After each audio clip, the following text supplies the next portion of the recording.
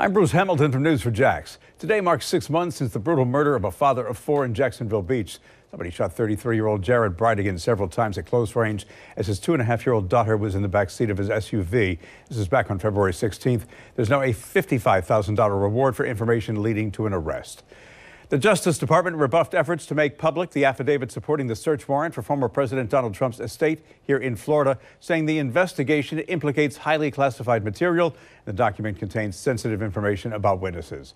And Kraft Heinz is recalling thousands of pouches of Capri Sun after some cleaning solution accidentally mixed with the juice on a production line. The company said it's recalling about 5,760 cases of Capri Sun wild cherry flavored juice blend. Best when used by date on the packages is June 25th, 2023. News continues on Channel 4 and News4Jax.com. I'm Bruce Hamilton. Have a great day.